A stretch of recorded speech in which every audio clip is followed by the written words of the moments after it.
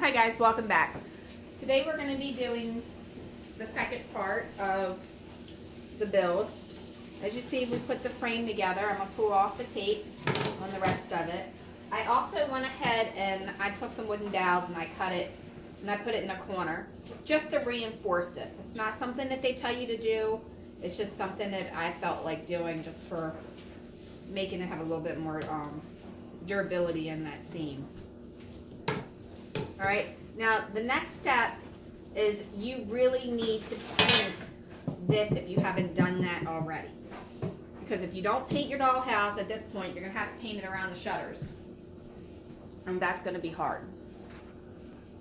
Okay, so for the painting process, I like to use the Behr Ultra. It's the paint and primer all in one and um, it's stain blocking. So it goes on a little bit easier and you don't have to use as much um, primer or you don't have to use any primer or anything like that when you're painting your dollhouse.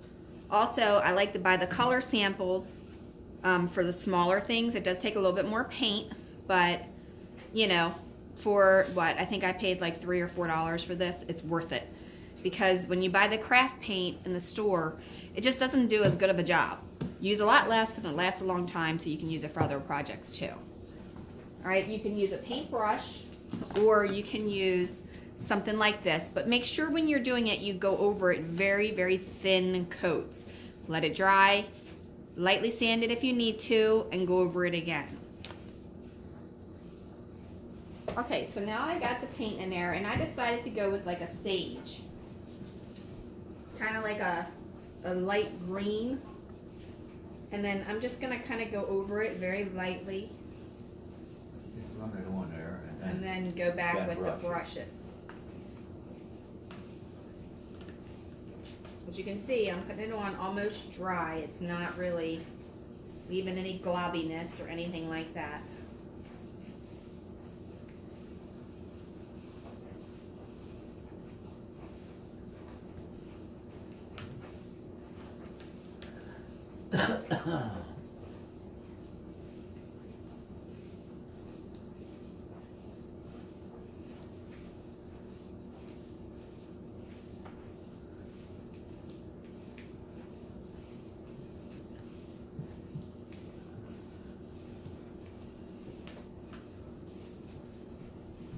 All right, we're gonna go ahead and finish painting this with this part and we'll be right back. Okay, so once it's on there, then you just kind of go over it again with the brush like Dad's doing. Yeah, you ain't got enough paint on there. And you can always add more if you need it, where you need it. No. Told y'all what's in. Yeah, you gotta put it on it because it soaks in. Yeah, the first coat will definitely soak in. There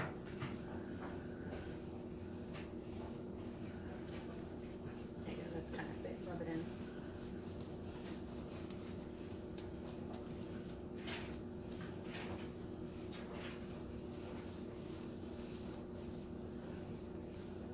I don't like to do a lot just because I don't want it to warp. And I don't want run marks. It ain't gonna work. It could. It's not wood. That's MDF. Buckles.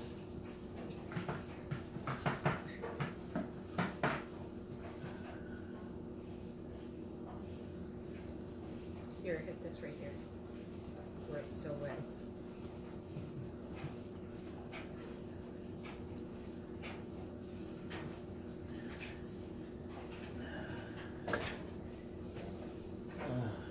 Alright.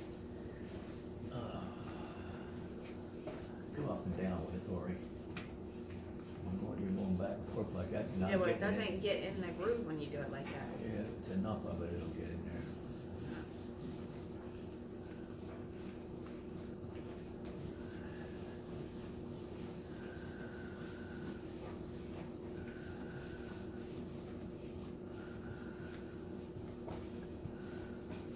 Watch your sleeve. You might want to pull it up. Oh, you gotta run over here, Dad. You gotta watch it.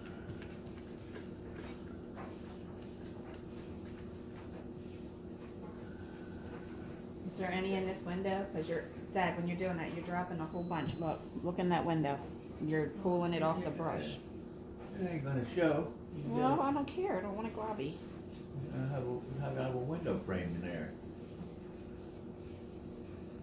Okay, so when painting it, I have some blocks of wood that I stuck underneath it here. So I have this gap that's about an, I don't know, maybe an inch. So that when I take my roller across it, I'm not actually going to be hitting the table.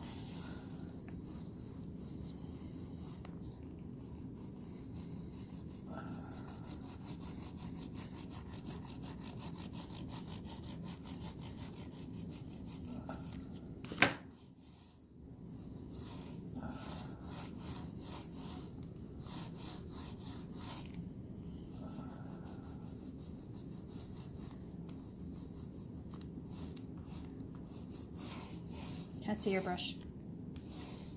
Huh? Can I see your brush a second? Thank you.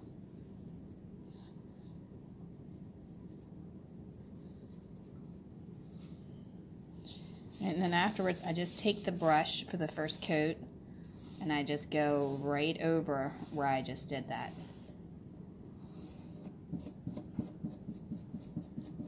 They tell you to paint this before you put it together, but I find it easier to do it this way.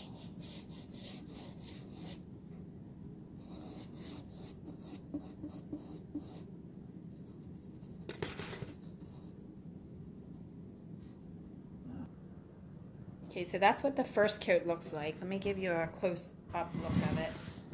It's still absorbing in, so you will definitely need another coat. But you can kind of see how it is. It's probably need another one. You can leave it like it is. no, you can still see a little bit coming through. So I think one more thin coat and it'll be okay. But um, you know, it's not so much that if you're going to do a whole lot with it, that you can even see that it's going to need another coat.